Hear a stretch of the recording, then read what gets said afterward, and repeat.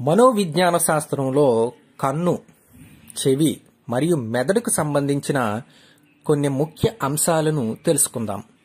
వీటిని టెట్ మరియు డిఎస్సిలలో ఇవ్వడానికి అవకాశం ఉంటుంది. మొట్టమొదటి అంశం సామాన్య వినికిడి సామర్థ్యం అంటే ఎంత? పది డెసిబుల్స్ నుండి ఇరవై ఐదు డెసిబుల్స్ హెచ్ఎల్ వరకు. తర్వాత అతి తీవ్రత వినికిడి లోపం అంటే తొంభై ఒకటి డెసిబుల్స్ కంటే ఎక్కువగా ఉన్నటువంటి శబ్దం. మధ్య చెవిలోని మొదటి భాగాన్ని ఏమంటారు? కర్ణబేరి. కర్ణబేరి ముందు ఉండేటటువంటి గ్రంథులను ఏమంటారు? సెబియస్ గ్రంథులు. మానవ శరీరంలో ఉండే అతి చిన్న ఎముక ఏది? కర్ణాంతరాస్తి. దీనిని ఇంగ్లీష్లో స్టేప్స్ అంటారు. కర్ణాంతరాస్తి స్టేప్స్ ఎక్కడ ఉంటుంది? మధ్య చెవిలో. వినడంలో ముఖ్య పాత్ర పోషించే చెవి ఏది? లోపలి చెవి.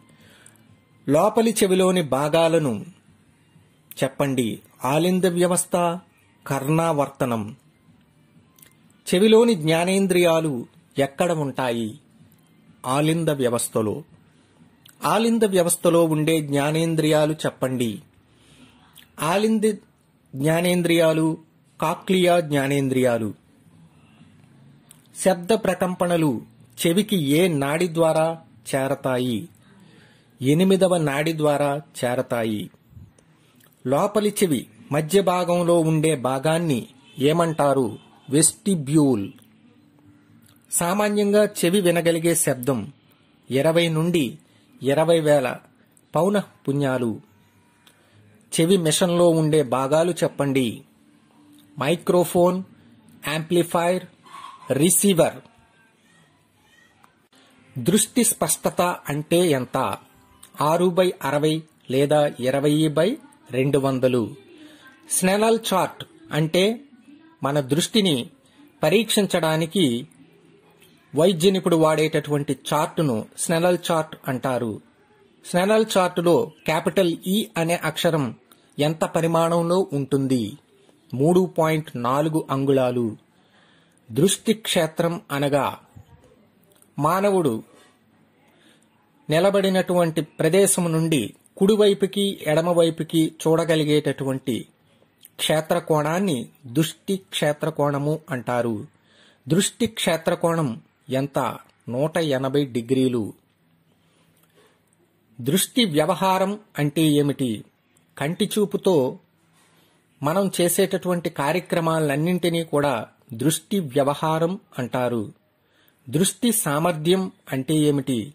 దూరంగా ఉన్న వస్తువులను దగ్గరగా ఉన్న వస్తువులను విశ్లేషించగలిగేటటువంటి సామర్థ్యాన్ని దృష్టి సామర్థ్యం అంటారు. మస్తిష్క పక్షవాతం సెరిబ్రల్ పాలసీ అంటే ఏమిటి?